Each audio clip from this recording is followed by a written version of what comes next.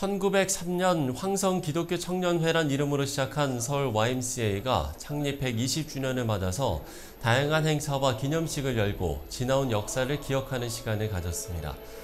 지난달 27일 우남 이원철 홀에서 열린 기념식에는 서울 YMCA가 걸어온 발자취를 한눈에 볼 수 있는 사진전이 열렸고 다양한 분야의 인사들이 참석해 축하와 감사의 말씀을 전하는 시간이 이어졌습니다.